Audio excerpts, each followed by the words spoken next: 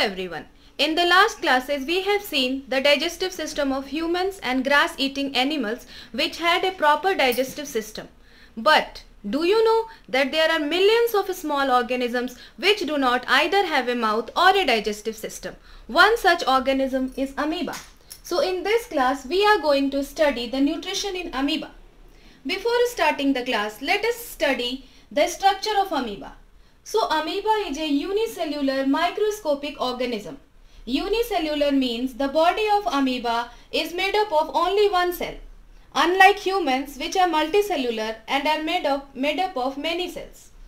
And it is microscopic organism. It means we cannot see an amoeba with our naked eyes. To see an amoeba we need a microscope. So amoeba is a unicellular micros microscopic organism. If we see the structure of amoeba, it is surrounded by a plasma membrane inside which there is a jelly-like structure called cytoplasm.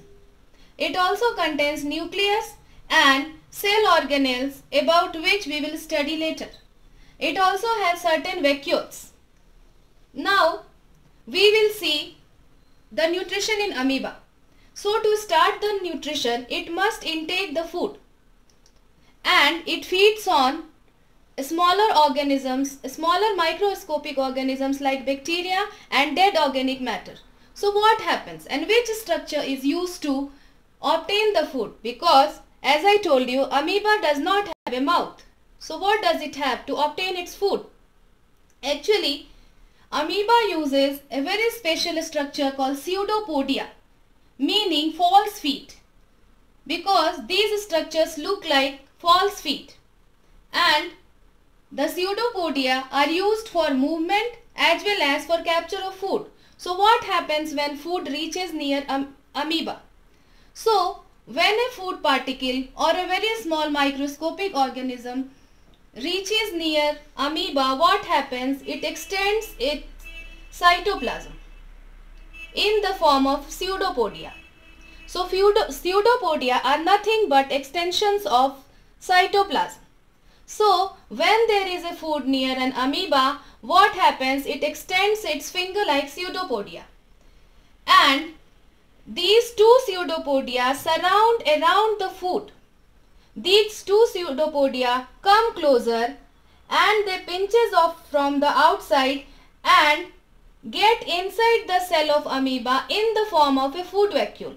So you can see here sensing of food by an amoeba formation of pseudopodia surrounding the food and formation of a food vacuole. This food vacuole is taken inside the body of an amoeba. So this process depicts the ingestion means intake of food.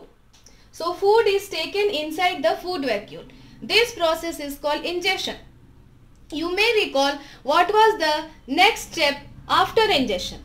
Of course it was digestion. So when the food has entered the body of amoeba, of course, it is not so simple that its body can absorb.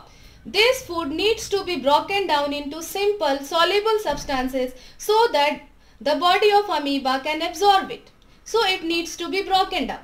This breaking down or digestion of food happens with the help of digestive enzymes secreted by the cytoplasm inside the, inside the food vacuole. So enzymes from the cytoplasm digesting the food. Now you can see there are certain enzymes which are entering this food vacuole and trying to digest this food. So this process comes under digestion. As a result of digestion, the food breaks into very small pieces. And these pieces are in such a form that it may be taken by the cytoplasm by a process called diffusion. So what happens when once the food has been converted into simple soluble substances? These simple soluble substances simply diffuse from the food vacuole inside the cytoplasm of amoeba. So this process is called absorption. So digested food is taken inside the cytoplasm by a process called absorption. Now, when these substances have been absorbed by an amoeba, these substances are utilized for growth, for maintenance and for multiplication. And you may recall that process was known as assimilation. Assimilation means the utilization of the absorbed food for various purposes. So now it has followed another process called absorption and assimilation. Now as we all know all the food is never digested. There is a part of food which remains undigested and that undigested food comes out through rupturing of the plasma membrane at any point. It means the food that remains undigested comes out from the body of amoeba by rupturing of the plasma membrane from any point and this process is called egestion. So, we may see that a typical amoeba or any amoeba follows all the steps of holozoic nutrition.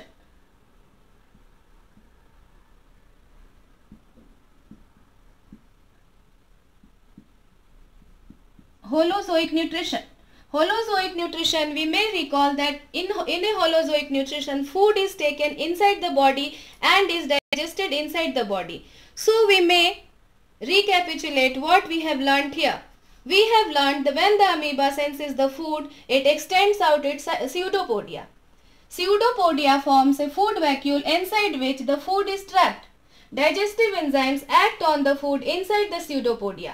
After the food has been converted into soluble substances, it is absorbed inside the cytoplasm. Inside the cytoplasm, it is utilized for various purposes like growth, maintenance and multiplication by a process called assimilation. The food which remains undigested comes out by the rupturing of the plasma membrane through any point by a process called egestion. So this is all about nutrition in amoeba. I hope you liked my class. Thank you for watching.